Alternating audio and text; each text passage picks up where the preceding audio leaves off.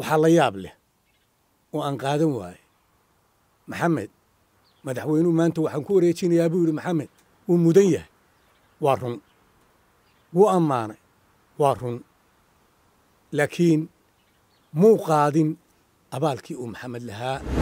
Xusbinimadii golihii dhexe xubinnimadii oo aan jeclaa xusbi aan jeclaa uu ahaa intaba waan iska casilay waana waa ninkii qaranka u sarreeyey. Wuxuu leeyahay ummadda oo waajib ku ah inuu isku wado inuu ummaddu qaybsanto oo kala kooxa noqoto waa mas'uuliyaddiisa uu leeyahay. Mas'uuliyad darradiisa bay noqonaysaa runtii.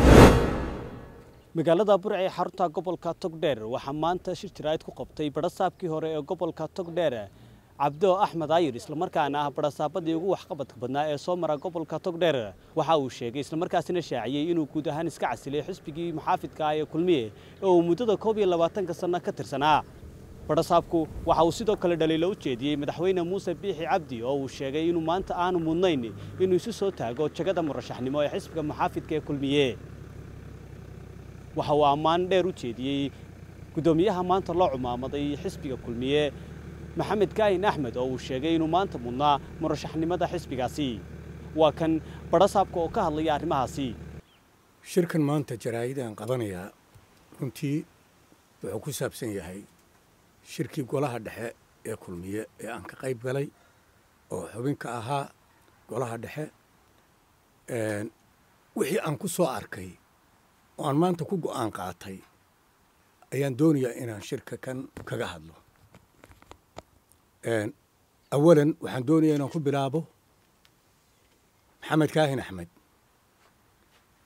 Oo ah mujaahid weyn.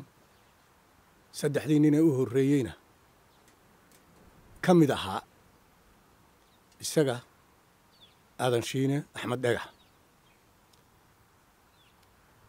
Bishii january nineteen eighty two ayaan saddexdoodaba ku casuumay xaraf xamar waana markay baxaayeen arbacay ahayd xasuustayda way ku sii jirtaa. Khamiistiina aadan shiniya axmed dhagaxba waa baxeen arbacadaa arbacadeediina maxamed kaahin baa baxay. Ilaa wakhtigaa maxamed waxaan dareemayaa inuu halkan dheer soo maray waxaan dareemayaa maanta inuu yahay mudanka qaranka somalilan ama astaamaha qaranka somalilan ay leeyihiin inuu kow ka yahay. Waxaan filaayey maanta maxamed in badan ayuu isaga oo mudan oo weliba da'diisii iyo wakhtigiisii jooga ayuu rag badan iska horraysiiyey inay musharax noqdaan oo xisbiga kulmiye ay musharax ka noqdaan. Axmed maxamed maxamuud siilaanyo oo guddoomiye ahaa madaxweynihii labada kun iyo tobankii madaxweynenimada noqday oo ay maxamed kaahin in badan soo wada halgameen. Maxamed wuu uga hadhay wuxuu uga hadhay haddaad dib u noqotaan ururkii sahan lo odhan jiray ee saleebaan saleebaan maxamuud aadan. Asad baan leeyahay asad. Ururkii asad la odhan jiray ee saleebaan maxamuud aadan guddoomiyaha ka ahaa maxamed saleebaan buu uga hadhay oo u daayey maxamed wuxuu uga hadhay muuse biixa cabdi oo madaxweynaha maanta ah ayuu uga hadhay in uu noqdo madaxweynihii iyo guddoomiyihii xisbigaba. Waxaa la yaab leh oo aan qaadan waaye maxamed madaxweynuhu maanta waxaan ku wareejinayaa buu yidhi. Maxamed wuu mudan yahay. Waa run. Wuu ammaanay. Waa run. Laakiin muu qaadin abaalkii uu maxamed lahaa muu marin maxamed wuxuu mudnaa in uu guddoomiyaha iyo musharaxa madaxweynaha ee xusbiga kulmiye ee mustaqbalka dhow ee soo socda inuu qaado oo ku wareejo laakiin labadii midna wuu la hadhay midna wuu ku wareeji anigu ma qaadan mana liqin run ahaantiina dee wakhti baa socda da'duna way socotaa way kaa daba imanaysaa muuse kama duwana labadii madaxweyne ka horreeyey isaga daahir yaalla kaahin iyo axmed maxamed maxamuud siilaanyo labaduba min shan sano iyo laba sanooo loo kordhiyey bay ahayd isna inuu ku qancaabay ahayd. Shanta sano iyo labada sanooo loo kordhiyey maxamedna maanta uu ka dhigo ninka ka dhexlaaya madaxtinimada oo musharax noqonaya. Xusbiga iyo musharaxaba sidaa darteed anigu markaan eegay markaan eegay xusbigii markaan saaka iyo shalayba la fadhiyey markaan dib u fiirsaday muxuu ahaa kaadiriintii xusbiga ee asalka u ahayd waxaan is leeyahay konton qof kama joogin.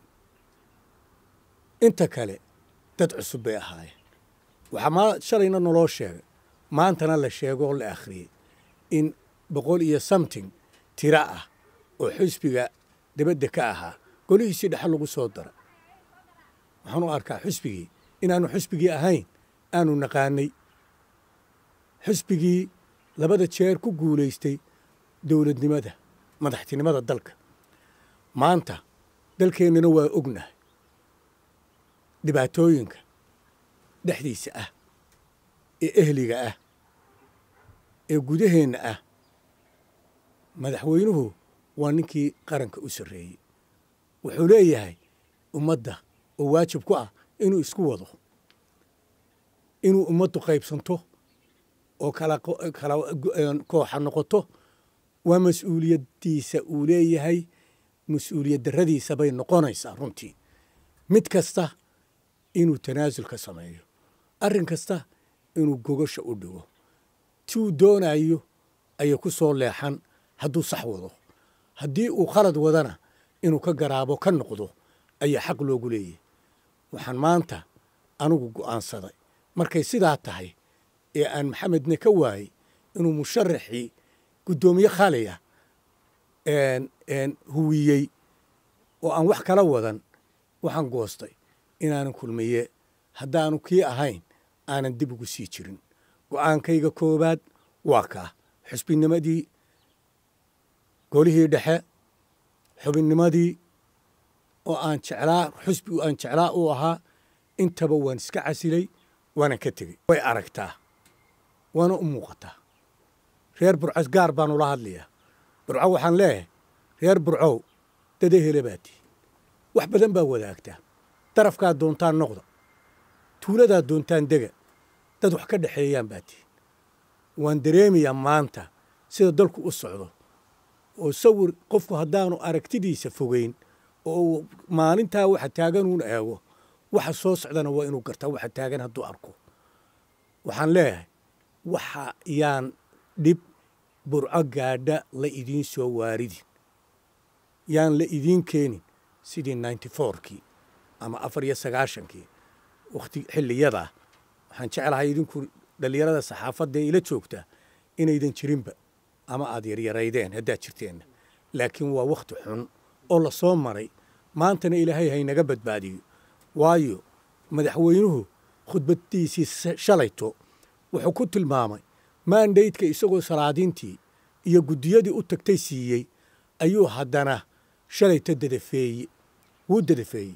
Cidlu ku tuura taasi waxay muujinaysaa islaaxa dalka iyo wanaaggiisa inaanu wadin madaxweynuhu waxaan leeyahay anigu ku arkay dadka inta kalena goortay ku arki doonaan anugu garan maayo. Waxaan se is leeyahay wax wax lagu qaato ama tidhi ama tustay.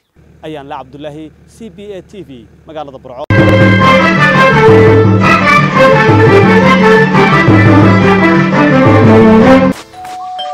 Maasha allah soo dhowaada.